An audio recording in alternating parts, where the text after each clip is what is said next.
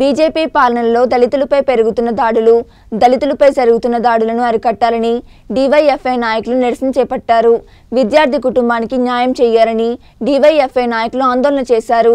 రాజస్థాన్ రాష్ట్రంలోని దళిత విద్యార్థినిని ఉపాధ్యాయుడు అతి దారుణంగా కొట్టి హత్య చేయడాన్ని నిరసిస్తూ ఈరోజు డివైఎఫ్ఐ డీవైఎఫ్ఐ ఆధ్వర్యంలో నక్కలగుట్ట కాలోజీ విగ్రహం దగ్గర నిరసన వ్యక్తం చేశారు. ఈ సందర్భంగా డివైఎఫ్ఐ జిల్లా అధ్యక్షులు నోములు కిషోర్ జిల్లా కార్యదర్శి దొగ్గెల తిరుపతి మాట్లాడారు. రాజస్థాన్ రాష్ట్రంలో ఉపాధ్యాయులు తాగే కుండలోని నీరు తాగాడనే కోపంతో షెడ్యూల్ కులానికి చెందిన ఇంద్ర మేఘావల్ అనే విద్యార్థిని అగ్రకులానికి చెందిన చల్సింగ్ అనే ఉపాధ్యాయుడు కొట్టి చంపడం సభ్య సమాజం తలదించుకునేలా ఉందని దీనిని అందరూ ఖండించాలని కోరారు. ఈ కార్యక్రమంలో డివైఎఫ్ఐ నాయకులు మోతే సతీష్ దాసరి నరేష్ జేమ్స్ శ్వేత శిరీష ఆశ శివాని అనుష యమున పాల్గొన్నారు. ఈ దేశానికి స్వాతంత్రం వచ్చి డెబ్బై ఐదేళ్ళు గడుస్తున్నప్పటికీ ఇంకా ఈ దేశంలో అసమానతలు అంటరానితనం కులవిక్షత ఇట్లాంటివి పెరిగిపోతున్నప్పటికీ ఇప్పుడున్నటువంటి ప్రభుత్వం వాటిని అరికట్టడం మాత్రం పూర్తిగా విఫలమైంది. ఒకవైపు దేశంలో అసమానతలు పెరిగిపోతూ ఉన్నాయి అంటరానితనం పెరిగిపోతూ ఉన్నది కులవిక్షత పెరిగిపోతూ ఉన్నది. ఈ పేరుతోని దాడులు జరుగుతూ ఉంటే ఈ దాడులను అరికట్టడంలో బీజేపీ ప్రభుత్వం పూర్తిగా విఫలమైంది.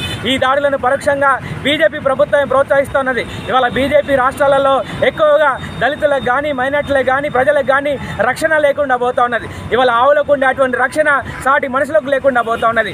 ఆవులకు ఇచ్చేటువంటి స్వేచ్ఛ ఆవులకు ఇచ్చేటువంటి రక్షణ ఇవాళ దేశంలో ఉన్నటువంటి దళితులకు ఇవాళ లేకుండా పోతా ఉన్నది. కాబట్టి ఇవాళ దేశంలో మనం చూస్తూ ఉన్నాం మన కళ్ళ ముందే చాలా అవమానమైనటువంటి ఆ సంఘటన జరిగింది. ఒక విద్యార్థి ఉపాధ్యాయులు తాగుతున్నటువంటి నీరును ఎందుకు తాగడని చెప్పి ఆ విద్యార్థిని కొట్టి చంపడం అనేటువంటిది దుర్మార్గమైనటువంటి చర్య.